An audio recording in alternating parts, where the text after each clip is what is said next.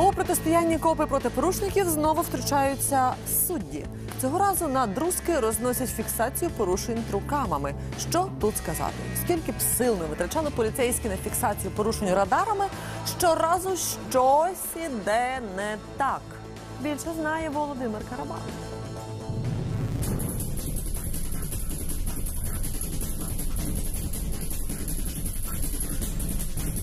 Трукам знову зламався. Принаймні так вирішив суд у Краматорську. Скасовано постанову, винесену поліцейським про притягнення до адміністративної відповідальності у виді штрафу в розмірі 510 гривень і закрити справу про адміністративне правопорушення. Підстава елементарна. Копи надали тільки відео та фото із приладу. Проте довести, хто саме був за кермом, не змогли.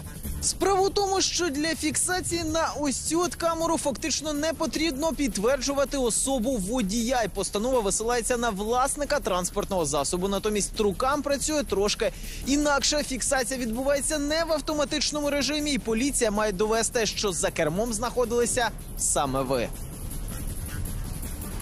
Тобто на фото, де красується ваше авто, потрібно ще чітке зображення вашого обличчя, як то кажуть, персональна відповідальність. Інакше фото не є доказом порушення. Рішення, яке от зараз ми обговорюємо, воно фактично е, може стати початком кінця автоматичної фіксації. Той конституційний принцип, який зараз застосовано в цій справі по Трукему, що не встановлено особу, яка притягається до відповідальності.